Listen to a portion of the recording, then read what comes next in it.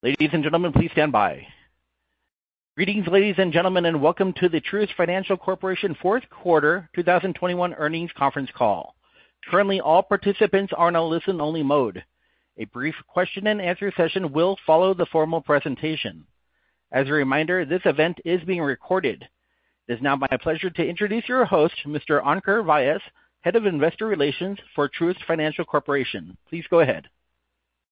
Thank you, Jake, and good morning, everyone. Welcome to Truist's fourth quarter 2021 earnings call. With us today are our CEO, Bill Rogers, and our CFO, Daryl Bible. During this morning's call, they will discuss Truist's fourth quarter results and also share perspectives on how we continue to activate Truist's purpose, our progress on the merger, and current business conditions. Clarke Starnes, our Chief Risk Officer, Beau Cummins, our Vice Chair, and John Howard, our Chief Insurance Officer, are also in attendance and are available to participate in the Q&A portion of the call.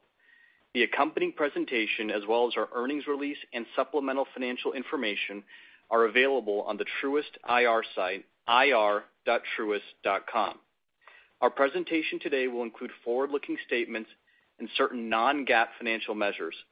Please review the disclosures on slides two and three of the presentation regarding these statements and measures, as well as the appendix for the appropriate reconciliations to GAAP. In addition, Truist is not responsible for and does not edit nor guarantee the accuracy of our earnings teleconference transcripts provided by third parties. The only authorized live and archived webcasts are located on our website. With that, I'll now turn the call over to Bill. Thanks, Ankur. Uh, good morning, everyone, and thanks for joining our call. We hope that your new year's off to a good start and that you and your families are doing well. I'm very pleased with Truist's strong fourth quarter results. Fee income was solid, reflecting our diverse business mix and favorable conditions in investment banking and insurance. Net interest income is starting to improve, exceeding expectations. Credit quality was outstanding, resulting in another provision benefit. We delivered on our expense goals as adjusted non-interest expense decreased almost 4% and drove 3% sequential positive operating leverage. Loan growth, excluding PPP, is strengthening, and we have momentum going into this year. I'll share more details on these topics during the presentation. Turning to slide four. As always, I'm gonna begin with purpose, which is to inspire and build better lives and communities. We believe our purpose-driven culture is the foundation for our success as a company. Our purpose defines how we do business every day, and it serves as a framework for how we make decisions. Our purpose-driven culture is also the foundation for how we attract and retain top talent. People simply wanna work for and do business with companies that stand for something meaningful. This culture, combined with our comprehensive compensation and benefit packages, significant and ongoing training, development, and career mobility, and our more flexible approach to work, will be our formula for attracting and retaining the best talent at Truist and competing and winning in the ongoing war for talent. Slide five highlights some of the ways we're putting our purpose into action. This slide is organized around the same major themes contained in our CSR and our ESG report, since they are topics that are most relevant to all of our stakeholders, including our shareholders. I could not be more proud of both the quantity and, most importantly, the quality of the work being done across all these dimensions and the tremendous impact we're having in our communities. While I can't cover every point on the slide, let me highlight a few. On the technology front, we were excited to welcome our teammates to the recently completed Innovation and Technology Center in Charlotte and look forward to our external grand opening in the first half of the year. As you know, Truist has an unwavering commitment to diversity, equity, and inclusion, and I'm very pleased to report that we recently achieved our goal to increase ethnically diverse representation in senior leadership roles to at least 15%. This was a year earlier than our original commitment.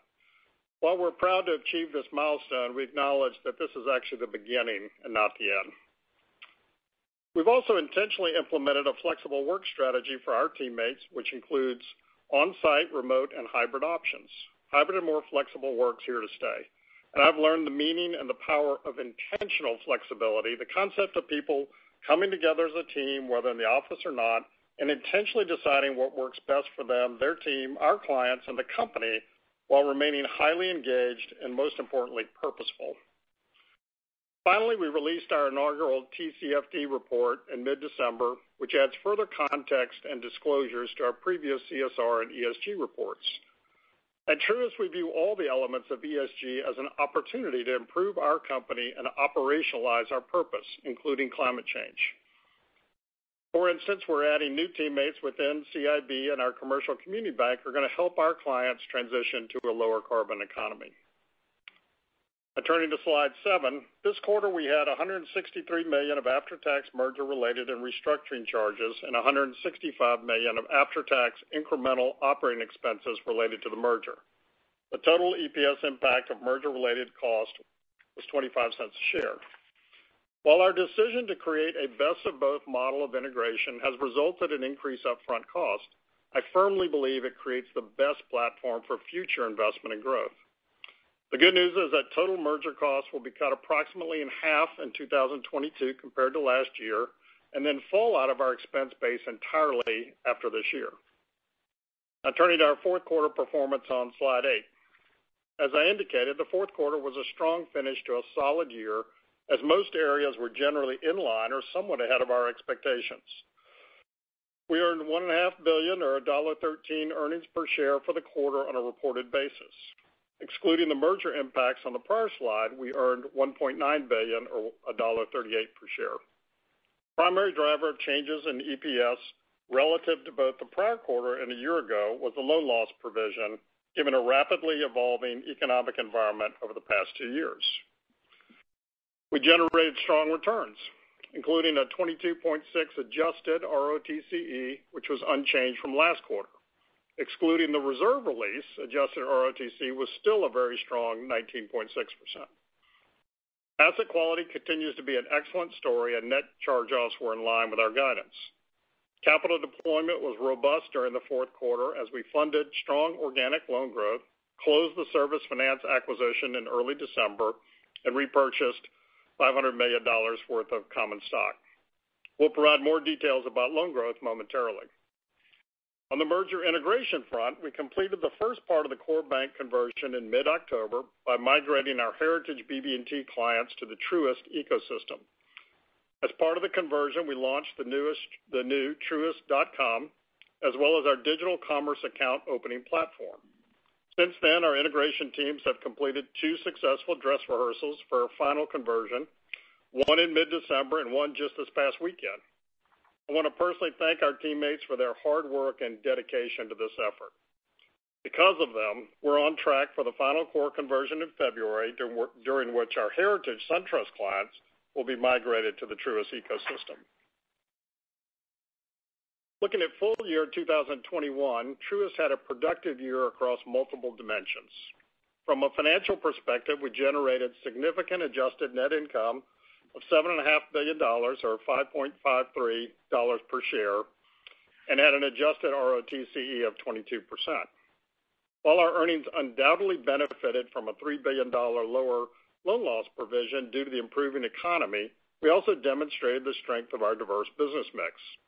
Fee income, excluding security gains, increased a very strong 10% as we are firing on multiple cylinders.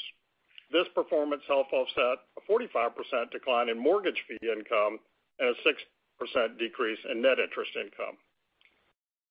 We also continued to deliver on our cost save programs, evidenced by adjusted expenses increasing only 1% during a year, which saw much larger increases in fee income. We also experienced a reduction in our risk profile due to the improving economy and merger integration progress, which enabled us to reduce the CET1 target by 25 basis points to 9.75 and deploy significantly more capital. Overall, we were able to make great progress on multiple fronts despite continued headwinds from the pandemic, while delivering improved financial performance for our shareholders. Turning to slide 10. Our new Truist digital experience reflects two of our core digital and technology principles, co-creation with our clients and moving fast in order to learn fast. Our more modern and agile platform allows us to incorporate this feedback quickly, the results of which can be seen in the significant improvements in our overall client satisfaction scores, as well as in our Apple App Store and Google Play Store ratings in just a few short months. We've now migrated approximately 9 million retail, wealth, and small business clients to the Truist digital experience through December. More than 85% of active clients have begun to use the new digital platform in lieu of their heritage app. On slide 11, you'll see a visual of our new corporate and commercial digital platform, which we'll call Truist OneView. This platform will provide our clients with a comprehensive view of their existing treasury management and lending solutions via streamlined and client-specific experience designed to reduce the time required to perform routine financial tasks. Including the launch of Truist OneView to our commercial clients, Truist has introduced new web and mobile platforms for each of our client segments across retail, wealth, business, and corporate.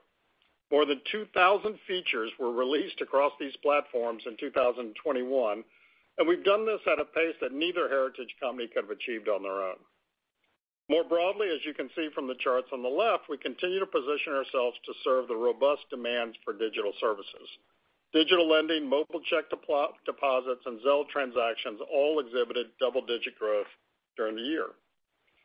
We feel good about our current digital performance, and we believe that our progress will accelerate after the final core bank conversion, in part due to the advantages and efficiencies associated with having one website, one search engine optimization process, one brand, one system, and one digital application. But also in part due to the new capabilities that we'll be able to introduce this year, including our new AI-driven insights tool, our new Truist Assist virtual assistant, and the Truist Developer Center, which will position us to innovate and collaborate with the developer community. Having our teams focus on the new Truist experience versus managing three separate experiences will provide a significant productivity lift as we move forward. Lastly, we have plans to make strong digital progress in other areas this year, from our new partnership and integration with AutoFi, enhancing our InsurTech capabilities via integrating insurance directly into our mortgage process, and launching a new deposit product with LightStream on a real-time cloud-based core. Now turning to loans and leases on slide 12. Average loans stabilized after decreasing for five consecutive quarters, peeling back the onion reveals positive and improving underlying trends. Excluding PPP, average loans increased approximately 1% sequentially, and end-of-period loans grew approximately 2%, reflecting momentum late in the quarter. The most notable improvement was in C&I, where end-of-period balances excluding PPP grew 6.3 billion or 5%, reflecting broad-based growth across corporate and commercial lines of business. This was the strongest point-to-point C&I loan growth since the first quarter of 2020. Most CIB industry and product groups demonstrated growth, most notably within our asset finance group. Broad-based growth was also evident within our commercial community bank, where 12 of the 21 regions grew C&I loans, excluding PPP during the quarter, and we continue to see the most most growth in markets that are relatively more open. Every single one of our industry specialty groups within CCB Group, a strong reflection of how our clients value industry expertise and advice. Revolver utilization also ticked up after six straight quarters of declines. And equally important, total revolver exposure continues to grow, evidence of our relevance and that our clients are building capacity for investments and expansion. Residential mortgage continues to grow, reflecting slower prepayment speeds, our decision to balance sheet certain correspondent production, and increased capacity post-conversions and COVID. Excluding mortgage, consumer balances decreased slightly, primarily due to seasonality in our Sheffield business and continued declines in our government-guaranteed student loan portfolio. Service Finance closed on December 6th, and we feel great about their trajectory heading into 2022. In addition, some of the areas that have been headwinds, like dealer floor plan and CRE, are beginning to stabilize. Overall, corporate commercial clients remain optimistic despite ongoing labor shortages, supply chain disruptions, and inflationary pressures. We're encouraged by the momentum we observed in the fourth quarter, but also in our pipelines, which are the highest they've been in some time. We continue to believe there's meaningful upside to the C&I growth story as the economy continues to improve, although the timing remains imprecise. We also continue to feel confident in our consumer trajectory as we're well-positioned with respect to faster-growing segments through our digital and point-of-sale businesses, which will offset headwinds in other areas. Now turning to deposits on slide 13. Average deposits increased 8.2 billion or 2% compared to the third quarter, largely due to the continuing effects of recent government stimulus and seasonality related to public funds. We're also able to help our clients along their financial journey through our industry-leading Child Tax Credit Awareness initiative. Through this initiative, which promotes savings and financial confidence, clients in uh, communities most in need were able to grow their savings and IRA balances by 9 and 15% respectively from May to through December. I think this is a great example of what we call purposeful growth. But we know we can do more, and thus guided by our purpose, we have been reinventing a new checking account experience that aligns with our clients' needs, which we believe will provide them more flexibility, lower cost, and more financial confidence. Truist One Banking will be our new flagship, differentiated, and disruptive suite of checking solutions that redefine everyday banking and accelerate our journey towards purposeful growth.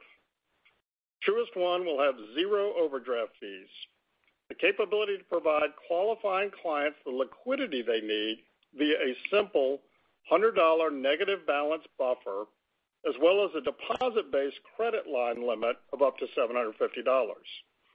These features will help clients manage their liquidity needs far more cost effectively than alternative products. You're going to learn more about these details right after this call. These solutions will be available to all clients this summer, given our need to first finish the conversion.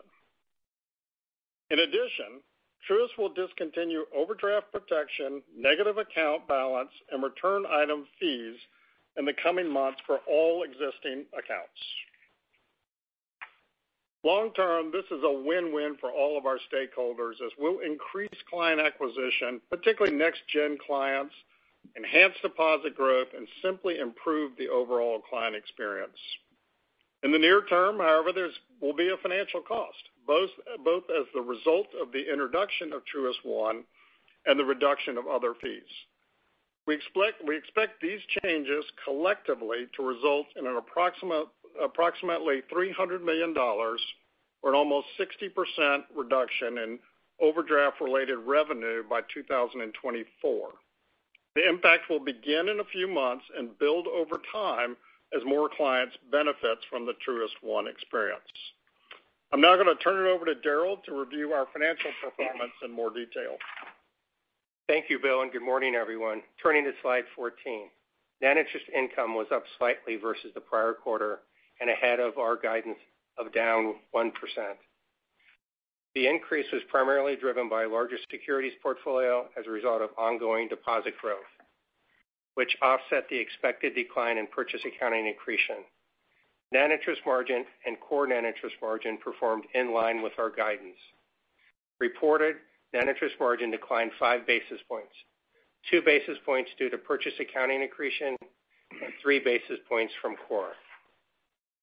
The main drivers of the 3 basis point decline in core net interest margin were the impacts of lower PPP revenue and higher levels of liquidity.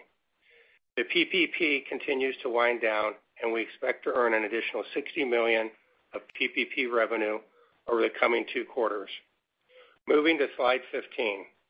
Overall, Truist intentionally maintained a balanced approach to managing interest rate risk, enhancing current earnings while being positioned to take advantage of higher rates both at the short and long ends of the curve. We estimate a 100 basis point ramp increase in rates would increase NII by 5%. A 100 basis point shock would increase NII by 10%. Approximately 75% of this reported asset sensitivity is from the short end of the curve. As a rule of thumb, one 25 basis point Fed hike with a 25% beta would increase net interest income by 25 million per month and increase net interest margin 6 basis points, all else being equal. Moving to slide 16. Reported fees were down 2% from last quarter, largely due to changes in our non-qualified plan. Absent the impacts of the non-qualified plan, Fees performed well and were consistent with our guidance of relatively stable. The driving factors of a stable performance quarter-over-quarter were investment banking and trading increased $61 million versus the prior quarter due to higher syndication fees, structured real estate, and record M&A results. Insurance income increased 21 million, primarily due to organic growth and seasonal improvement from the third to fourth quarter. These quarterly increases were offset by a decline in other income of $107 million, or $70 million excluding changes in the non-qualified plan, largely driven by the valuation adjustment for the Visa-related derivative and lower revenue from our SBIC funds. For the full year 2021, excluding security gains, fees were up 10% versus the prior year, or more than $800 million. Propelled by our diverse business model, favorable market conditions, and Truist's increasing size, scale, and relevance across multiple businesses. We are also making good progress early in our ERM initiative, particularly between the connectivity between CCB, Wealth, and CIB. Insurance income increased 20% year-over-year, primarily driven by a very strong organic growth of 11% and acquisitions. This was our 99th year of insurance business, our best one yet, and we believe that 2022, our 100th year, can be even better. Investment banking and trading was also up over $400 million, largely due to record performances of syndicated finance, M&A, equity, structured real estate, and asset securitization. M&A revenue doubled relative to 2020, and the lead syndication roles in syndicated finance were up 26% year-over-year, both reflecting our strategic relevance to our clients. On the flip side, residential mortgage income was down year-over-year 445 million or 45%, primarily due to the sharp decline on gain on sale margins and lower refinance activity. Turning to slide 17. Reported expenses were 3.7 billion for the quarter, including 212 million of merger-related costs and 215 million of incremental operating expenses related to the merger. Adjusted expenses decreased 3.9% sequentially at the better end of our guidance of down 3%-4%. Drivers for the decline include decreased personnel costs, which were the result of lower salary expenses, lower incentive costs, lower medical claims, and changes in the non-qualified plan. Average FTEs declined 3%, including Service Finance from the prior quarter. Adjusted expenses also declined due to elevated equipment and marketing expenses in the third quarter. Full year adjusted expenses were up only 1% despite the adjusted fee income growing 10% year-over-year. This limited increase demonstrates the cost-saving success we have achieved throughout the year and our overall discipline on expense management. Moving to slide 18. Asset quality remains excellent, reflecting our prudent risk culture, diverse portfolio, favorable economic conditions, and the effects of stimulus. Our net charge-off ratio increased to 25 basis points from 19 basis points in the third quarter due to seasonality in the consumer losses and lesser commercial recoveries. Our ALLL coverage ratio decreased to 1.53%, which is just below our CECL day one levels, resulting in a provision benefit of $103 million in the fourth quarter as the economic scenarios continue to improve. Continuing on slide 19.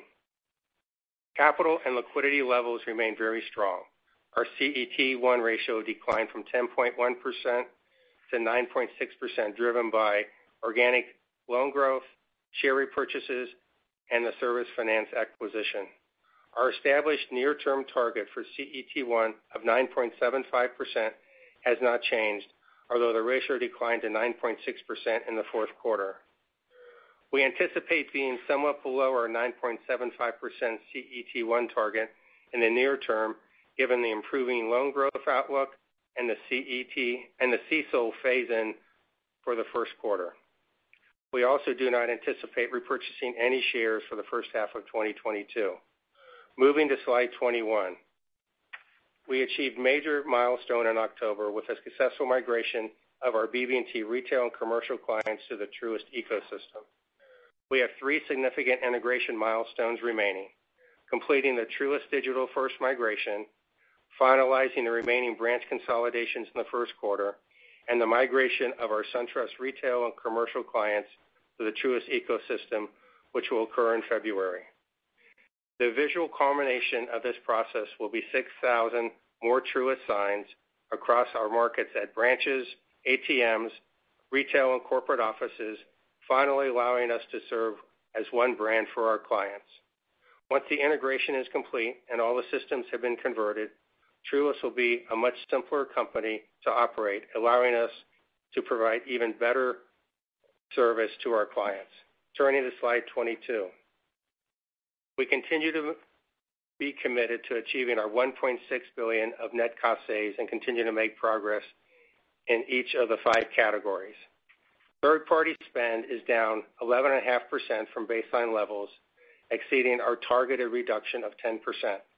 Our sourcing team continues to make great strides in achieving savings despite the impacts of inflation. And the good news is there are fewer contracts to renegotiate in 2022 due to the higher volume of contracts renegotiated during Truist's first two years. We are on track to deliver over 800 total branch closures by the first quarter of 2022, and we are about 90% of the way towards our non-branch facility reduction target. Average FTEs are down 11% since the merger, excluding acquisitions. Additionally, technology savings will materialize after redundant systems are decommissioned the second half of 2022. Turning to slide 23. Core non-interest expense was 2.94 billion in the fourth quarter, meeting our target for the quarter. As a reminder, core non-interest expense is more comparable to our baseline expenses at the time the merger closed.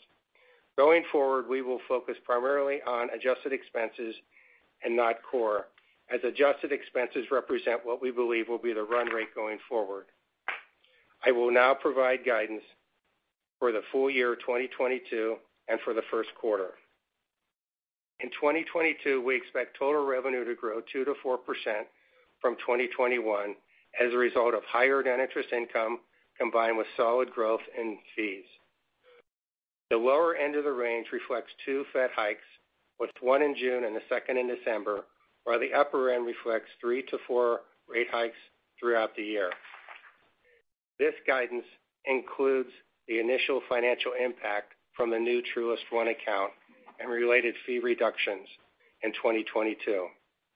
Adjusted non-interest expense is expected to only increase 1%-2% in 2022 as a result of inflation, increased investments, and expenses from acquisitions in 2021, partially offset by the ongoing cost savings, including achieving our final cost save target in the fourth quarter of 2022.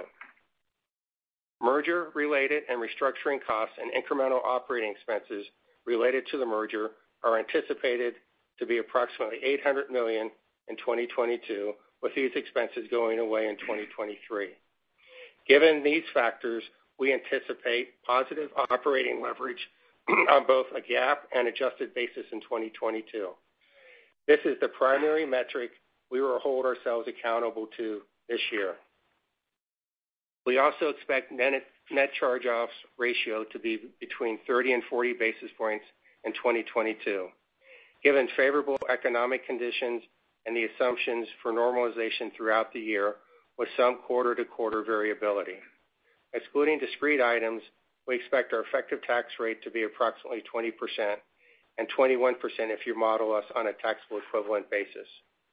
Looking into the first quarter, we expect total revenues to decline approximately 1%-2% from fourth quarter levels.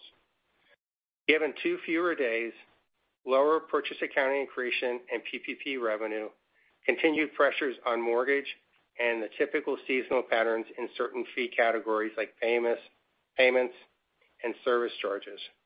This will be partially offset by seasonality and insurance. Reported net interest margin should be down a couple of basis points due to lower purchase accounting accretion, although expect core to be relatively flat. We expect adjusted expenses to increase 1%-2% next quarter from the fourth quarter levels, partially due to the seasonality in personnel expense given FICA and 401(k), and partially due to higher marketing expense as we continue to roll out the Truist brand post-conversions. Now I'll turn it back to Bill to conclude. Thank you, Daryl. Slide 24 is our investment thesis, which is built on four pillars or themes that we believe truly differentiate Truist and allow us to inspire and build better lives and communities, as well as deliver purposeful growth for all of our stakeholders. I also think it's the same reason I've got the best job in banking.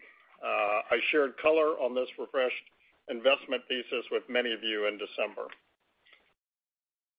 So on slide 25, and in summary and conclusion, Truist had a very good 2021, highlighted by improved financial performance, strong fee income from our diverse business model, significant capital deployment, and strong risk management as evidenced by our excellent asset quality metrics. We also made substantial integration progress, taking many significant steps towards becoming one Truist.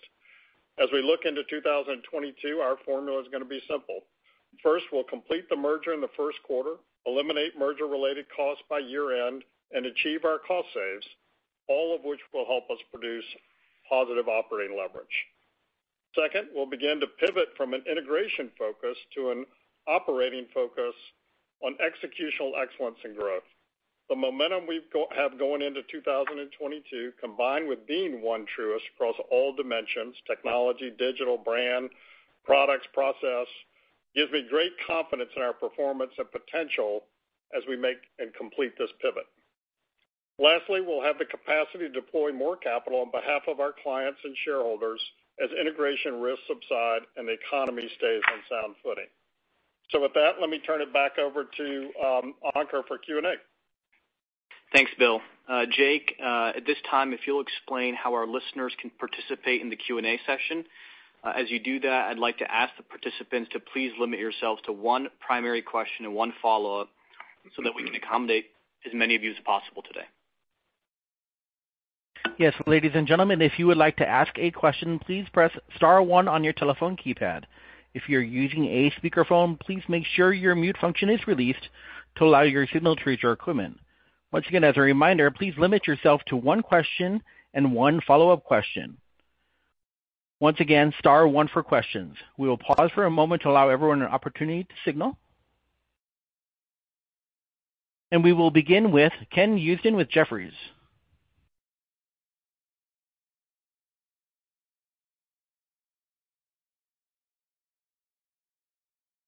Ken, are you there? Are you muted? Ken, you might be muted.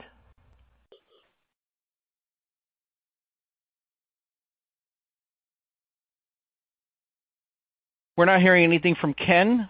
We'll move to the next caller in the queue, Matt O'Connor with Deutsche Bank. Uh, hi, good morning. I was hoping to follow up on the expense guidance of uh, 1%-2% uh, growth on an adjusted basis. There's obviously some puts and takes with the cost saves and the Service Finance. And what are you thinking about underlying expense growth? Um, I think, Daryl, you had talked about 3% back in November. Um, Is that still true, or how do we think about that? Yeah, Matt, I think, you know, when we were at the conference in the fourth quarter, you know, we said we would have around 3% inflation. That's about $400 million. It's what we're ballparking, you know, for us for next year. You know, we have the benefit, obviously, of having our third tranche of cost saves coming through in 2022, which really makes the adjusted expense growth pretty moderate versus not having those cost saves. Okay. And then uh just remind us the lift from Service Finance on the cost side starting in 1Q.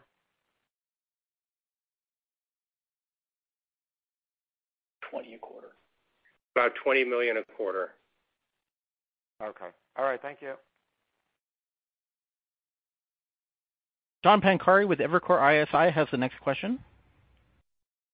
Morning. Hi, John. Uh, on your revenue guide of uh, 2%-4%, uh, maybe could you just help us think about how that would break down, if you can unpack that by net interest income versus fees, maybe give us a little bit of color how the how the how we should think about growth in 2022 on those fronts. Thanks.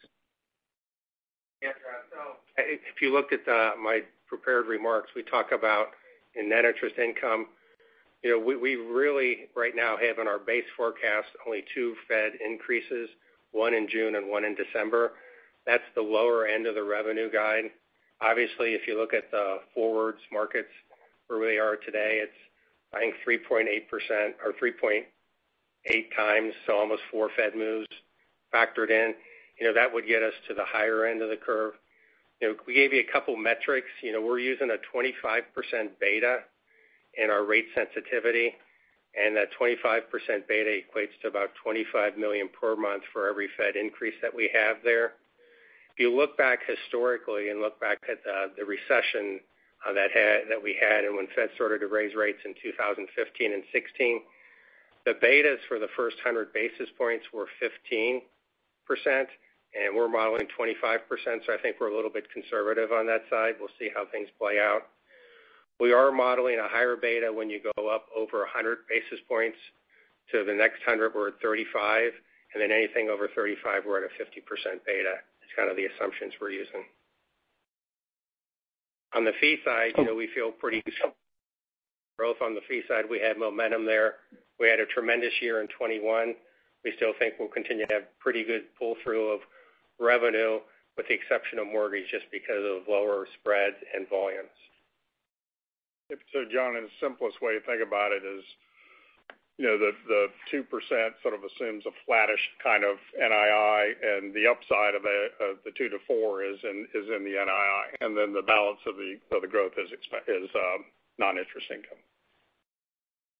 Got it. Thanks, Bill. That's helpful. Um and Daryl, thanks for that. And then separately, on the loan growth side, wanted to see if you can give us just expectations how we should think about the pace of growth in 2022, um, and maybe also for that as well, how that would break down, you know, in terms of commercial versus consumer trends.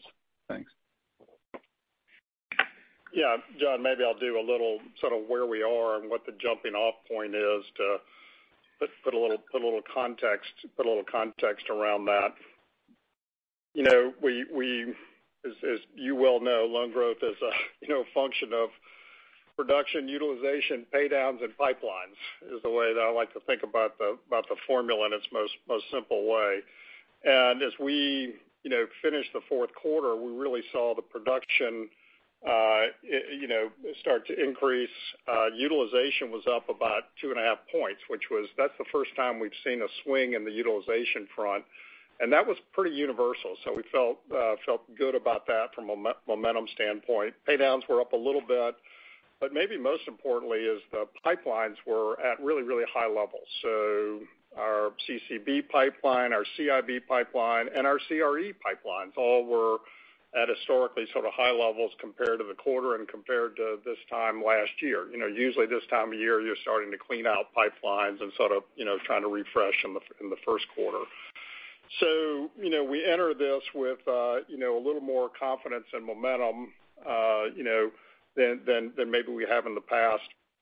On the consumer side, you know, we had some headwinds from student loan, but that was really just less purchases available. So I mean, I think that's, you know, sort of a little bit of a conscious kind of decision. And then home equity, which I think just is a symbol of sort of how people wanna borrow in the future. But remember, things like Service Finance are coming on, you know, so that we completed that purchase in uh in December early December, so we'll sort of get the benefit of that on the consumer side as we as we come as we come through.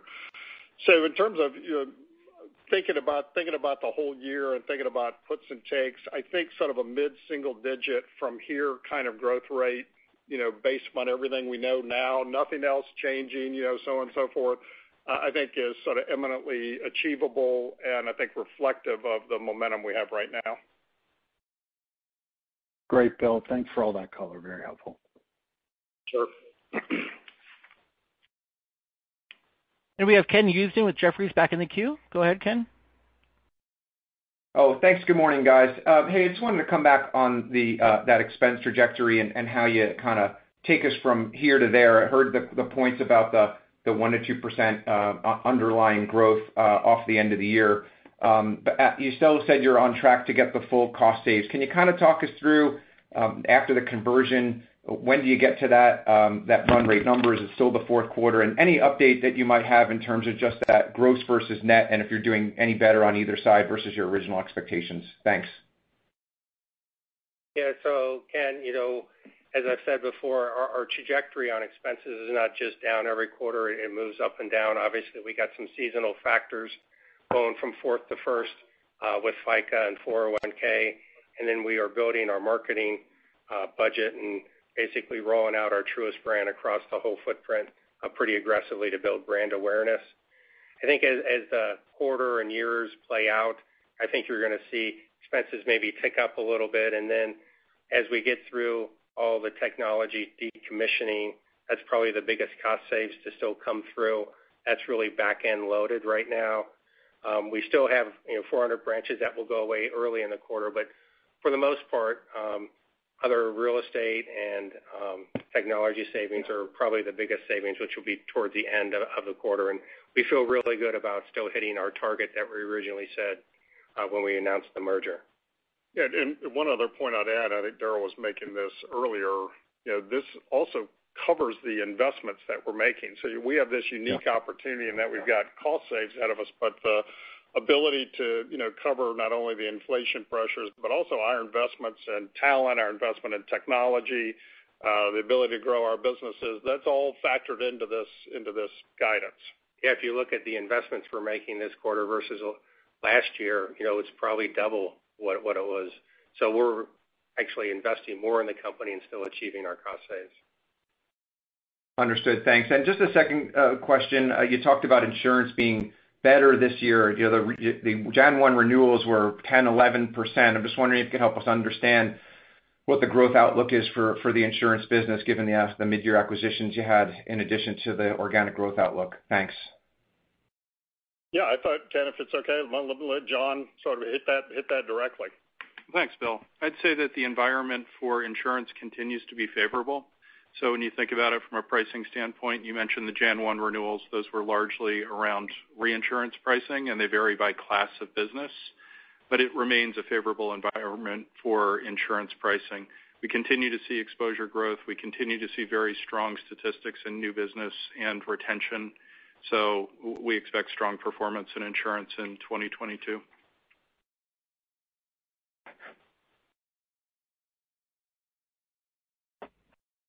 We'll now hear from Gerard Cassidy with RBC. Thank you. Good morning, Bill. Good morning, Daryl. Morning. Can you guys share with us, uh, You obviously, your CET1 ratio, you lowered the near-term targeted ratio to 9.75% from 10%. What is the longer term once the deal, the integration is completed, we're in 2023 heading, you know, out further, what do you guys think is a long-term CET1 ratio for you folks? Yeah. You know, Gerard, I think as we've said before, I mean, we're gonna continue to look at sort of where we are in, you know, our merger integration, where the economy is, Uh, the health of our business and, you know, make those adjustments on a on an ongoing basis. This won't be a quarterly kind of thing, but just as we see, you know, significant shifts in those in those criteria, evidenced by the fact we went from 10 to 9.75, and also the fact we've got flexibility. I mean, the good news was we had, you know, loan growth at the at the end of the quarter that probably exceeded our expectations, and that uh, took our CET1 a little below that target, which we think is great. By the way, that's a sort of a, you know, a high-class way to, you know, to go go below go below that target. Uh, so, you know, as we go through the process this year, we go through the CCAR process, look at all the stress testing and results. I think sometimes, you know, toward the middle or the end part of this year, we'll take another harder look and be more Uh, communicative about about where another goal might be. Very good. Thank you. And then as a follow-up, I'm trying to figure out uh, on the fourth quarter call for 2022 next January, what's gonna be the real subject of discussions uh, for you folks and maybe your peers. Obviously, we're not going to be talking about restructuring costs and things like that because it'll be finally over for you folks. But credit is something that I'm wondering about because it's so good today. We all know that, and I don't know if Clarke can uh, comment on this, but I'm curious, when you look at your underwriting standards today, I don't know if you wanna use a scale of one to 10 being very conservative, one being very aggressive, where does it stand versus where it was at the start of the pandemic, and then where it was versus 2019? Second, what's going on with your competition? Are they being really aggressive? Are you guys seeing really aggressive underwriting from some of your peers? Thank you. Hey, Gerard, that's a great question. I would say Uh, for Truist, we've uh, removed all our COVID-related overlays that we uh, added in from an underwriting standpoint as the pandemic hit. So I would say we are underwriting more or less at a normal through the cycle rate. So you know, right in the middle of the field. We're not on the aggressive end, we're not on the conservative end. I think we're meeting the market through our long-term approach. Obviously, it's very competitive out there. There are, aggressive structures and uh, pricing considerations that we have to deal with every day. But I think our view is that because of our diverse business model, and particularly in our lending segments, we can get responsible growth by that through the cycle approach. So I would say for us, we're in a pretty normal uh, approach, albeit watching uh, those areas that might have been impacted structurally by the pandemic, you know, CRE office, things like that. Otherwise, for us, it's more normal underwriting. Great. Thank you. Mike Mayo with Wells Fargo Securities has the next question. Uh, hi. Um, Hello, Mike. Uh, just uh, a specific question as it relates to competition. What's been the retention rate of your employees, customers, deposits? Um, when the merger was announced three years ago, there was a lot of talk about uh, competitors gaining share. Um, and I'm just wondering what specific metrics you have around that. Sure, Mike. I'll take a crack at that. You know, obviously, that's an extremely high focus area for us. If we start with the deposit and client side, uh, I would say it's been exceptional Uh, and exceeded our expectations. Uh, the branch closures retention numbers have been, you know, in the really in the high 90s. Uh, I think it's just a reflection of, you know, clients' confidence in us, you know, our presence in the market and our ability to handle their needs, whether it's digital or whether it's physical. So I think and so that part has been exceptional, exceeded exceeded probably all expectations. And the same thing on the, you know, we see it in the deposit growth. I mean, I think we're, you know, those are hard numbers to look at market share, but I feel like we're taking share in that sense because in that in that retention in that retention model. As it uh, as it moves to teammates, I think you and I had talked about this, you know, right into the first year of the merger, our retention numbers were actually higher for Truist than they were with each, compared to each Heritage company. So our, you know, our teammates had uh, voted for the merger uh, and wanting to be part of that. And we look at not only overall you know, retention, we look at high performer retention. We divide it up a lot of different ways. Obviously, that attrition has picked up, uh, and that's picked up across the across across the industry. I still think on a, you know, on a relative basis, we look really strong from from that standpoint. Um, If you think about what's gonna happen to us, you know, we also changed the denominator a bit when we closed a lot of branches, and we're still consolidating. So our ability, I think, to stay ahead of the attrition game, uh, I think we're really really well well positioned from that standpoint. But also, and maybe equally importantly, is our attractiveness to hire talent uh, has never been better. I mean, we are bringing in some fantastic uh, people that wanna be part of our company. They've bought into our purpose.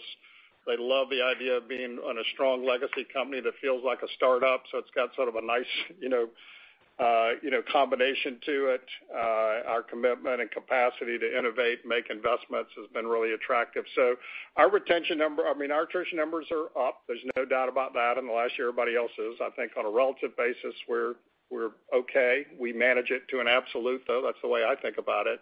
Uh and our ability to attract talent's really, really strong. Never been stronger. All right. And as far as a follow-up, I'm going to have a wind-up to my second question here. Uh, it's been almost three years since you announced the merger. Your stock's up 39%, the bank index is up 52%, the S&P is up 71%. So you have woefully underperformed from a stock standpoint, and that coincides with a period when you've shown some negative operating leverage, especially last year. And you've talked about this, the pandemic slowed down the merger conversions. NII has been depressed. Uh, you've had a cautious approach. You want a best of breed. We have all that. Um so really, I'm getting to positive operating leverage this year. You're doubling the investments. But I just want to know if we can have additional reassurance uh, that operating leverage will be uh, more positive than, say, one basis point, because you say 2%-4% revenue growth, 1%-2% expense growth. So that could be anywhere from one basis point to 300 basis points.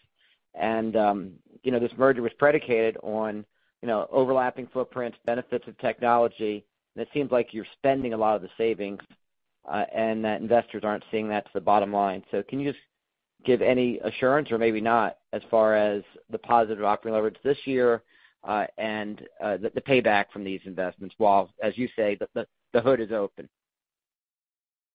Yeah. I mean, I think the commitment to positive operating leverage is clear in our guidance you know, related to how much we achieve. I think, you know, given we've had a pretty conservative forecast on the rate increases, if we get additional rate increases, this was predicated, the 1% in your lineup was predicated on two rate increases. If we get more, those sort of follow straight through to the bottom line, so we create more operating leverage. Uh, I also think to your point and the point I made earlier, we're continuing to invest in this business. I mean, we're not going to achieve operating leverage, you know, positive operating leverage, and starve our business. I mean, the ability to achieve the cost saves, redeploy them into uh, the appropriate investments for the long term, that was the vision of Truist. I mean, that was the premise upon which we established this merger. And I think arguably, and it'd be hard to dispute, it's taken a little bit longer. Some of those were decisions we made. Uh, the Best of Both was a little more expensive than we had anticipated at the at the outset. But I think you're really starting to see, and I can feel you can feel it in the pivot in the fourth quarter, you can feel it in the pivot in our guidance of the of the promise of Truist is manifesting itself uh, in you know, not only positive operating leverage, but purposeful growth and an ability to invest in the business for the long term. Yes, we're committed to positive operating leverage, underlined you know, exclamation point and all the other comments, but in a way that we're continuing to invest to grow our business for the long term. Hey, Mike, the only thing else I would add to uh-huh. that, if you look at our net interest income, you know, just to remind you, you know, we have runoff of purchase accounting accretion of about 400 million planned for year-over-year, and we have about $325 million runoff of PPP planned to be lower year-over-year. So for us just to be flat in NII is 6.5%. You know, the guidance that we gave for revenue growth and all that has you know, net interest income being up maybe a little bit, maybe 1% on a GAAP basis, but that's really 8% if you look at the real true operations of the company, and potentially up to maybe 10% you know, if we get rate increases and maybe some more loan growth. So the company is really performing at high levels uh, from a production basis on the amount of volume that we're putting through on the on the asset side of the equation. Uh, thanks for that clarification. Thank you. We'll now hear from John McDonald with Autonomous Research. Hi, good morning. Um, Bill, wanted to ask you um, a little bit more of an uh, industry question. With the loan demand uh, and the loan growth numbers looking better across the industry, what's happening in the psychology of the borrower here? You know, it feels like there's still a lot of liquidity out there, but there's a change going on. Is it is it um, more confidence about the economy? Uh, folks just uh, have you know run into a need to build inventories. Why are we seeing this increase in uh, loan demand across the industry? Yeah, I think it's a combination of things, John. I mean when I'm out visiting with clients, demand is never the issue, you know, for business. I mean, they all have demand, and that cuts across actually a wide swath of industries and geographic locations. So the ability to do business. I think uh I think you're seeing a couple things. One is, I think what your premise was in your question, people building a little inventory, sort of anticipating, trying to get ahead some of the supply chain. I think you see that. Then you just see stuff happening, like in the dealer side, cars are showing up on lots. You know, they may be showing up on lots needing a chip or whatever it may be, but they're but they're showing up. So the ability to, you know, borrow against those capacities. And then I think people are just making the decisions to move forward. Uh, you know, deploying capital, they've had plans. Uh, you know, if they've delayed plans, they're continuing to, Uh, look at, uh, you know, the current Omicron as potentially a short-term, you know, situation that reverses itself, and they don't wanna get behind.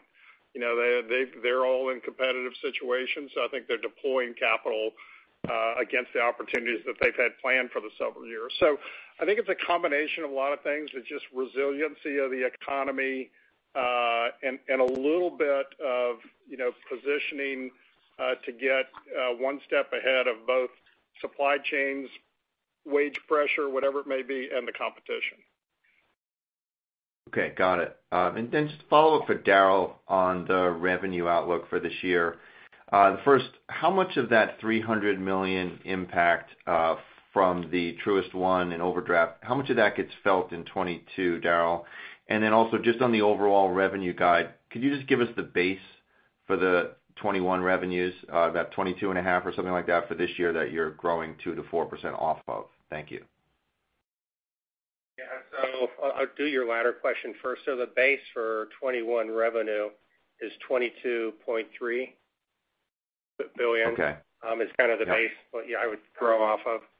And then for the Truist One, uh, recall in Bill's remarks, you know, it's probably gonna start in the second quarter, and it's probably anywhere from a third to 40% of the impact would be in 2022. Um, probably spread out evenly over second, third, and fourth quarter, and then kind of builds up in 2023, and then the full run rate in 2024 of 300 million. Okay, got it. Thank you.